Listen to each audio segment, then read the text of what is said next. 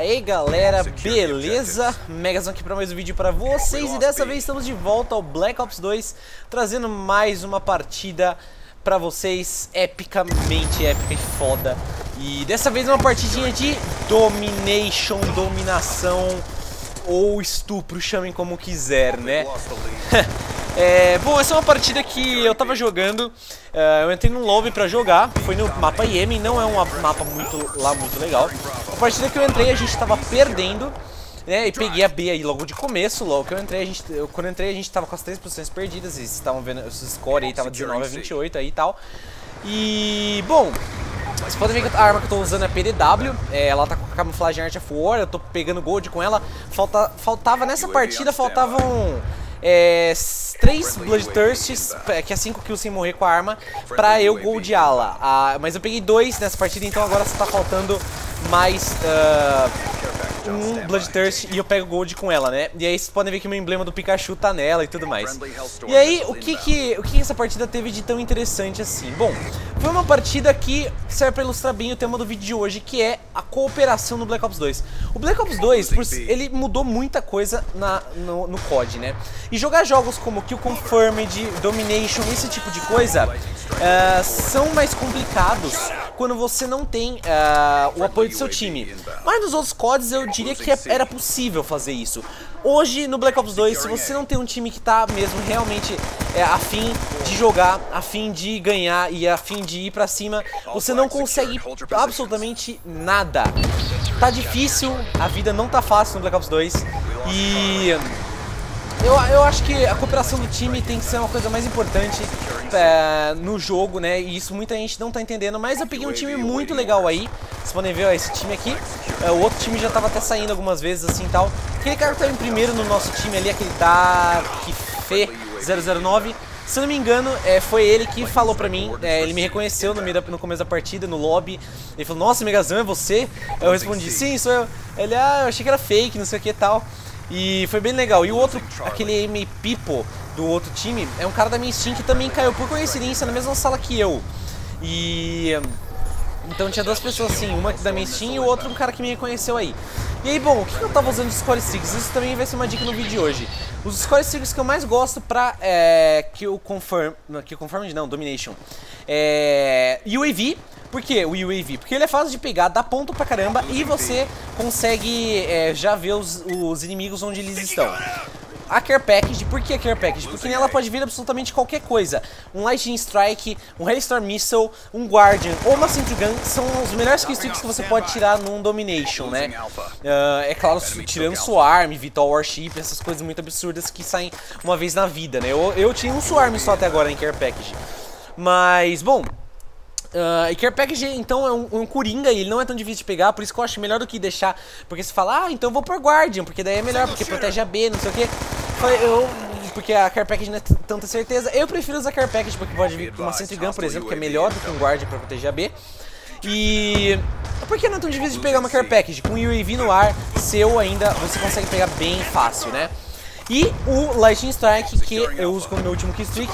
Por padrão eu já uso esses killstreaks, mas eu, eu tô gostando pra caramba de usar eles no Domination, porque eles são muito úteis, né? E Lightning Strike pra proteger uma B aí, alguma coisa, ele é muito, muito bom. Vocês podem ver que eu peguei uns 4 Lightning Strikes nessa partida aí.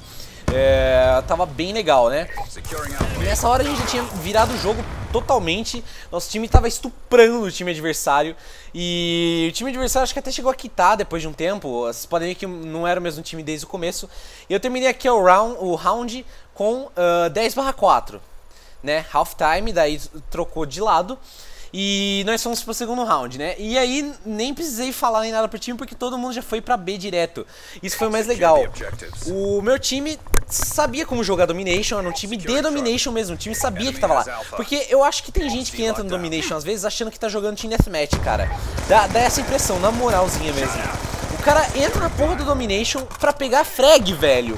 O cara fica com medo de ir lá buscar bandeira pra não ficar com KDR negativo. Pô, vai jogar Team Deathmatch, vai jogar Confirmed, mano.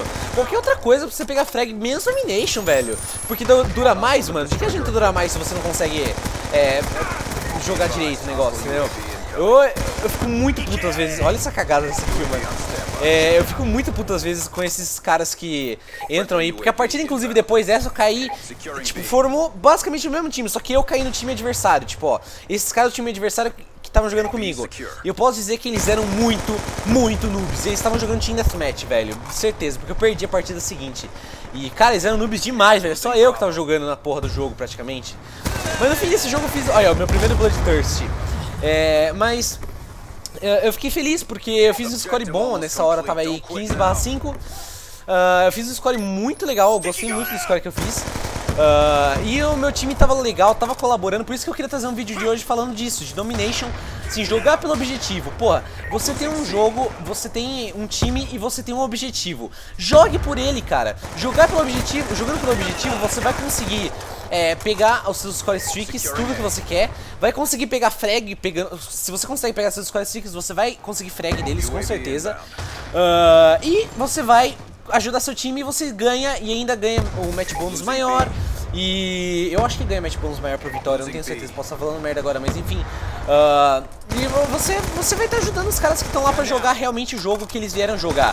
Não, não pra, pra jogar Team Deathmatch, porque pra jogar Team Deathmatch, cara, vai no Team Deathmatch, pra quem vir estragar a porra do Domination, entendeu? É, é, foda. E isso tá me estressando muito hoje, assim, hoje no geral. Teve várias partidas que eu caí, que eu falei, mano, eu, não, eu tô detestando jogar Black Ops 2 hoje, porque hoje não é meu dia. Hoje só tem dia de pegar noob, só tem dia de pegar cotoco pra jogar, velho. Mas não, nessa partida eu consegui um frag legal, consegui um time muito legal. Sem o apoio do meu time eu jamais conseguiria. Olha essa cagada, esse cara aí na fumaça. Eu vi essa sombra, eu caguei achando que o cara fosse roubar minha care package. E aí, ó, um guardiãozinho pra proteger a B, tá vendo? Minha care package me, me coisou.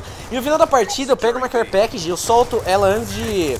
de acabar, né? Eu, dou, eu, eu solto ela só pra pra ver o que, iria, o que iria vir. E vocês vão ver que veio outro Guardian. Então não é difícil tirar o Guardian e a Sentry Gun.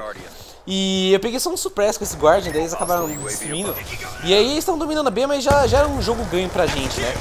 E, bom, o nosso time então, como eu falei, estava muito bom. O cara 30 barra 15 lá, o outro 20 barra 12, eu 18, 18 barra 7.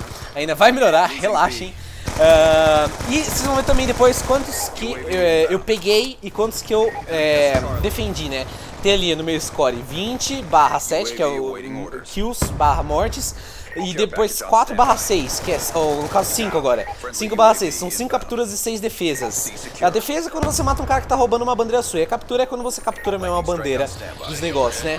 E eu, eu não me importo de ficar negativo em Domination, porque eu, eu fico muitas vezes negativo em Domination mas contanto que eu fique com um grande número de, de capturas e principalmente uma, um grande número de defesas.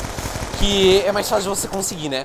É, e o, eu também não me importo do meu time ter, ter gente negativa no meu time, contanto que eles tenham um grande número. Porque eu já cheguei a jogar Domination que eu fiquei 3 barra 30 e eu peguei acho que tipo 7 bandeiras, defendi 10, mas meu time perdeu porque só eu estava jogando. Ninguém estava jogando Domination lá. Galera, olha isso, esses dois noobs deitadinhos aí, fazendo amor. é, e, e os noobs. Ah, outro Bloodthirst. E os noobs. Mano, eles vão vir pra jogar o que, velho? Tinha Smash? Isso, isso enche o saco, velho. Então fica a dica aí pra vocês. Se vier jogar a porra Domination, joga Domination, domina a bandeira, pega a bandeira, você vai pegar muito score streak, você vai poder pegar aquele seu último score streak que você quase nunca pega, que eu tô ligado que você é noob que você não pega. Brincadeirinha. E é isso aí, abraço pro cara lá que me reconhecer na partida, se você estiver vendo esse vídeo. E aí, ó, a última care package que eu mandei antes de acabar. E é isso aí, galera. Mensagem dada no vídeo de hoje. Espero que vocês gostado. Se vocês gostaram, dê um joinha se vocês adoraram. Favoritem.